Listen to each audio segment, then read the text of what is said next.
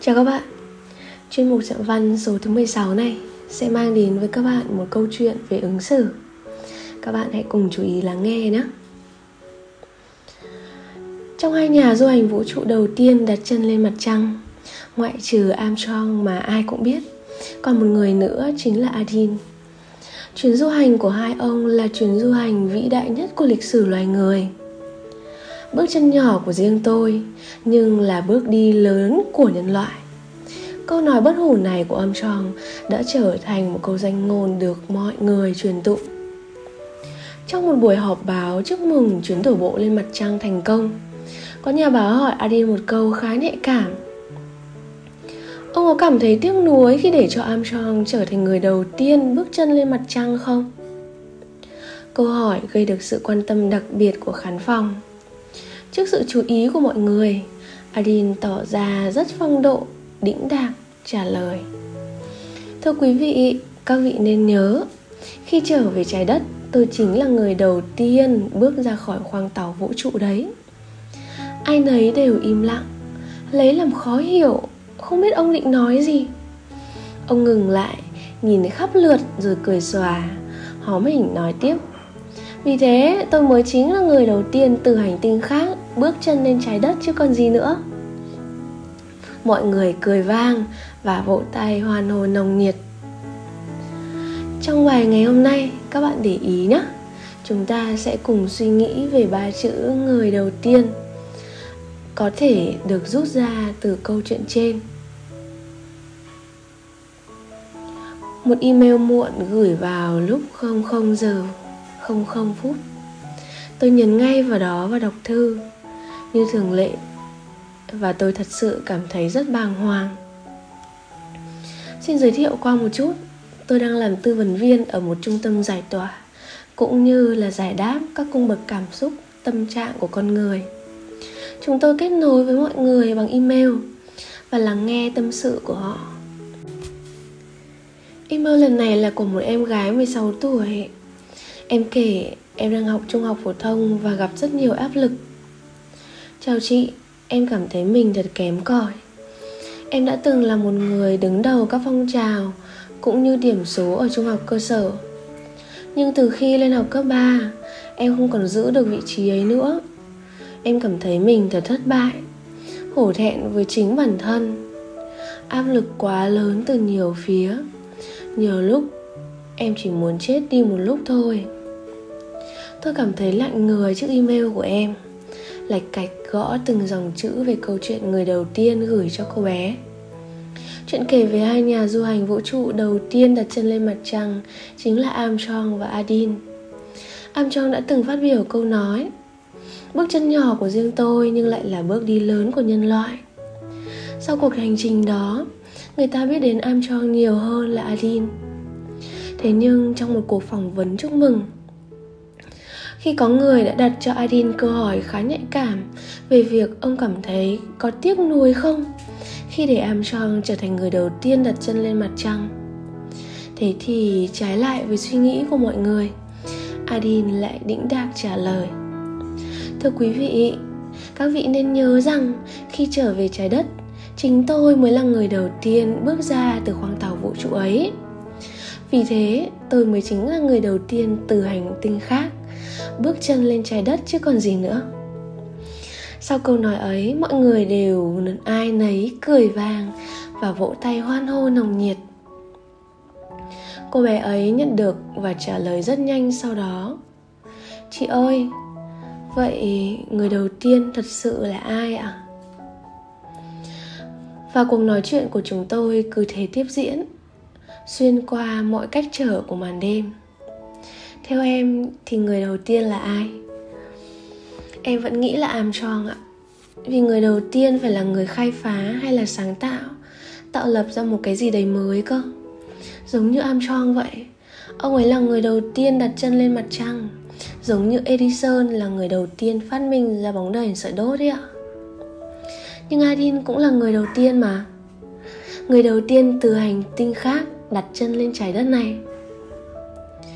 Nhưng trái đất có biết bao nhiêu người khai phá rồi mà chị? Từ hàng trăm triệu năm trước. À Thế thì chị hiểu vấn đề của em rồi. Đó là ở cách nhìn nhận vấn đề của em đấy. Em chỉ nhìn nhận vấn đề ở chiều xuôi, Nhưng bản chất của nó lại được kiến tạo từ hai phía. Em đầy không? Adin dõng dạc và đĩnh đạc trả lời không một chút sân si, Tị nạnh với người bạn của mình Về việc ai mới là người đầu tiên. Hoàn cảnh hay quá khứ là những điều không thể thay đổi và thực sự rất khó có thể chuyển rời. Quan trọng là em tự thay đổi từ trong chính nội tại của em, tư tưởng của em và cái nhìn của em về ba chữ người đầu tiên người đầu tiên là ở vị trí số 1 khai sáng hay mở màn cho một cái gì đó mới mẻ. Một điều gì đấy chưa ai biết đến. Thật sự quan điểm đó đúng không sai. Đó là Tàn Đà, người dạo bản tân kỳ cho phong trào thơ mới. Đó là Copernic, người đầu tiên dám đứng lên và khẳng định chân lý. Trái đất là một hành tinh quay xung quanh mặt trời hay là trong cuộc sống đó là những con người can đảm dám đi khai hoang khai phá những vùng đất mới là bác nông dân phạm văn hát lần đầu sáng chế ra con robot gieo hạt để hỗ trợ sản xuất là hai cậu học trò đất Quảng Trị với sản phẩm bẫy điện đầy sáng tạo. Lần đầu tiên đã làm mưa làm gió tại hội thi sáng tạo trẻ. Tất thảy những con người ấy, những việc làm ấy đều đáng trân trọng, dù là vĩ mô, là lớn lao hay chỉ là những việc làm, những sáng tạo vi mô nhỏ bé thôi. Bởi như Armstrong đã nói, bước chân nhỏ của riêng tôi lại là bước đi lớn của nhân loại. Nhờ có những con người đầu tiên mở đường và khai phá mà thế giới nhân loại càng tân tiến hơn hiện đại và phát triển hơn. Còn những con người đầu tiên như thế đã làm chủ được thế giới nhưng trước đó chắc chắn họ đã phải làm chủ được chính mình. Em ạ à, điều em khao khát phải chăng là như thế? Trở thành những người đầu tiên khai sáng và mở màn như thế. Vâng chị ơi, em thật sự rất khao khát điều như vậy. Em thật sự buồn lắm khi các bạn của em cứ xếp thứ hạng cao hơn em. Thậm chí em còn tức giận nữa chị ạ. Chúng em đều có cùng xuất phát điểm giống nhau. Chúng em cùng ở huyện lên thành phố học. Thậm chí nhiều lần em còn đứng thứ bậc cao hơn bạn ấy nữa. Em luôn là người xếp thứ nhất trong mọi kỳ thi. Thế nhưng, càng về sau thì lại càng không được như vậy nữa. Chị hiểu, bởi chị cũng đã từng như vậy. Cho đến khi chị đọc được câu chuyện người đầu tiên, em biết không? Nam Cao cũng chẳng phải là nhà văn đầu tiên viết về giai cấp nông dân và tầng lớp trí thức nghèo, tiểu tư sản đâu. Nhưng ông vẫn luôn được coi là thành công nhất ở thể loại này. Xuân Diệu cũng chẳng phải là người mở đường cho phong trào thơ mới, Giai đoạn 1932-1945 Nhưng ông vẫn được người đời ngợi ca là nhà thơ mới nhất trong những nhà thơ mới. Em đã từng đọc câu chuyện về những người đứng lên cho rằng trái đất quay xung quanh mặt trời chưa? Copernicus là người đầu tiên, đúng vậy.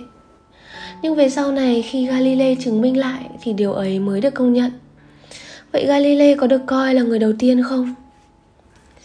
Chị từng nghe câu chuyện kể về anh Phạm Vĩnh Lộc. Anh là người trẻ yêu lịch sử và hết lòng theo đuổi khám phá nó anh tuy chẳng phải là người trẻ đầu tiên kể về lịch sử nói về lịch sử nhưng với những lối chia sẻ mới lạ, với những quan điểm thú vị về một cách tưởng chừng như khô khan, thì vấn đề liên quan đến lịch sử lại được mọi người rất là công nhận và cho rằng anh là đại diện cho lớp trẻ tiên phong, cách mạng lại một lần nữa nền sử học của dân tộc, khiến cho lịch sử có những góc nhìn chân thực giống như chân lý vốn có của nó. Hay trưởng nhóm nhạc ET319 với câu nói, cho dù 10 năm hay 20 năm, em nhất định sẽ thay đổi được nền giải trí ở Việt Nam. Dù anh chẳng phải là người đầu tiên đứng lên đi theo con đường này và có những định hướng rõ ràng với lối đi mới của nền giải trí Việt Nam, nhưng với những thành công mà anh đạt được, với những đề cử mà anh được nêu tên, anh hoàn toàn xứng đáng. Anh xứng đáng vì đã theo đuổi đam mê đến cùng là người đầu tiên thật sự thành công khi áp dụng những mô hình giải trí mới vào nền nghệ thuật nước nhà. Và em có biết không? Người hàn quốc chẳng phải là người đầu tiên tiên phong trên bản đồ thế giới về giải trí quốc tế. Thế nhưng, họ lại khẳng định được mình. Họ đã định nghĩa được rất rõ về nền giải trí của họ có thể nói là hoàn toàn khác biệt so với những cường quốc giải trí khác trên thế giới. Và đương nhiên, giải trí hàn quốc vẫn luôn luôn được đánh giá rất cao, luôn luôn đứng nhất nhì trên thế giới về tầm ảnh hưởng và nhận được sự yêu thích của đông đảo khán giả. Và cũng như em nói thôi, em có thể không phải là người xếp thứ nhất, là người đầu tiên trong danh sách những người đạt điểm cao nhưng chị tin em sẽ là người đầu tiên trong nhiều lĩnh vực và phương diện khác chẳng hạn. Vì cuộc sống xung quanh chúng ta đâu phải chỉ có học hành, phải không em? Và quan trọng hơn cả là em lần đầu tiên là người đầu tiên chiến thắng chính mình. À nếu như vậy thì em hiểu ra rồi chị ơi. Nhưng làm thế nào mà mình có thể nhận ra và có một cách vững vàng để thể hiện được phong độ. Đĩnh đạc trả lời giống như câu nói của adin à chị, em thật sự thấy điều đó rất khó khăn. Đúng rồi, vì một người luôn luôn có những lòng tự trọng, tham vọng và cả những cái tôi riêng nữa. Chị vẫn tâm phục, khẩu phục adin bởi lẽ đó. Câu chuyện người đầu tiên này không chỉ là lời tuyên ngôn hay định nghĩa rõ ràng về ba chữ người đầu tiên. Mà nó còn nêu lên cho ta một bài học ứng xử rất sâu sắc nữa. Người đầu tiên trong một việc gì đó. Trở thành người đầu tiên của một việc gì đấy là người sáng lập ra một cái gì đó thật tuyệt vời và đáng tự hào, đáng ngưỡng mộ biết bao.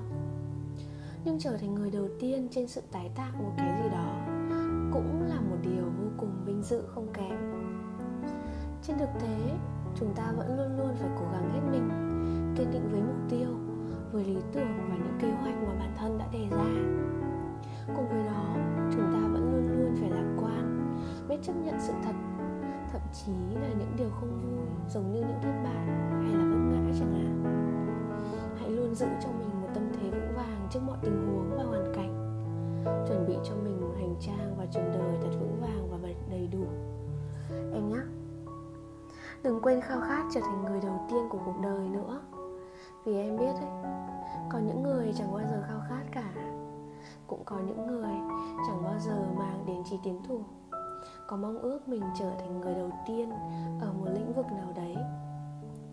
Hay là cũng có những con người, họ có quan điểm sai lệch về ba chữ người đầu tiên chẳng hạn. Hãy lấy họ để soi vào mình, để tìm được một hướng đi thật tốt không được bi quan và hãy luôn nở nụ cười. Hy vọng một ngày nào đấy, em sẽ được mọi người hoan hô và vỗ tay nồng nhiệt như Adin chẳng hạn. Em cảm ơn chị thật nhiều. Gặp được chị quả là một may mắn rất lớn đối với em. Em sẽ thật cố gắng. Cũng khuya lắm rồi, chúc chị ngủ ngon nhé. Và câu chuyện của chúng tôi đã kết thúc như vậy ai thật sự là người đầu tiên chẳng còn quan trọng, đến mức phải gồng lên để cố gắng và đạt được nữa. Đâu phải người đầu tiên, cứ là người mở đường duy nhất, phải không nào? Cuộc sống của chúng ta có rất nhiều hướng đi và có cả những lối rẽ. Hãy chọn cho mình một điều mà bạn cảm thấy phù hợp nhất. Cảm ơn bạn đã lắng nghe những dòng tâm sự này qua những con chữ. Xin cảm ơn.